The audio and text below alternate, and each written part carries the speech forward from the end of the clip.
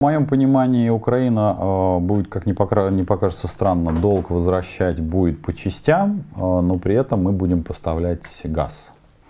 Поэтому тут для себя надо четко все понимать, что э, чем проблематика добычи газа и нефти, это невозможно остановить физически.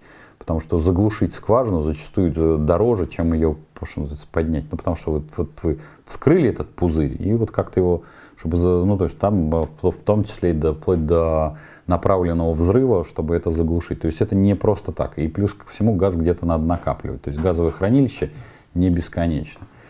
Поэтому нам куда-то все равно это надо спуливать. Поэтому Украина будет чуть-чуть потихонечку платить. А, дефолт она, конечно, объявит, я бы на ее месте объявил, но объявит она не по причине долга, упаси Господь России, а по причине того, что ну, экономику нужно, а, скажем так, ре реиновировать и зачистить. Она, конечно, очень сильно страдает от той войны, которая происходит.